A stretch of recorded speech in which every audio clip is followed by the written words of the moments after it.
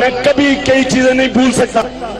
बलोचिस्तान में मैं ये पहले भी कह चुका हूँ, मैं आपको याद कराना चाहता हूँ कि बलोचिस्तान में खुश साली थी। वहाँ लोगों के जानवर मरने शुरू हो गए। वो बेचारे वहाँ से लोग शहरों की तरफ़ आए, कैंपों में ठहरे। तो मैं एक कैंप में गया, मेरे पाकिस्तानियों, मेरे जेन में, मेरे, मुझे उसकी रात को घुराने ख्वाब आते थे सोच के कि जो मैंने एक औरत को देखा वहाँ, बाल बिखरे हुए, पागल भरी हुई, रो रही। उसके खामद से मैंने पूछा, इसको क्या हुआ? कहता जब खुश साली शुरू हुई, हमारे जानवर बनने शुरू हुए तो हमने फैसला किया कि शहर की तरफ़ जाए, जो भी बच गया है उसको लेके जाए।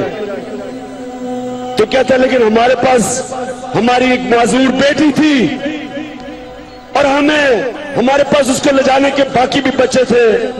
तो हमें उस माजूर बेटी को छोड़ के जाना पड़ा। और ये माँ, अभी भी इसको, उस बेटी की चीखें याद आ रही है जब ये जा रहे थे। वो चीखें मार रही थी बेटी।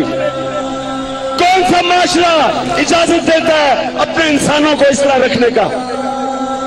और मैं देखता था, यहाँ ऊपर, ईवानों के अंदर ये शरीफ खानदार और वो सरदारी खानदान अरबों के, के अरबों अरबों रुपए इनके बाहर हैं पेट इनका भरता नहीं है।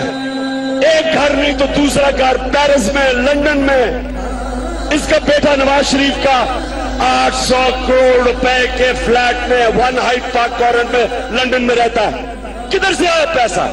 क्यों कौन चुप करके तस्लीम करती थी?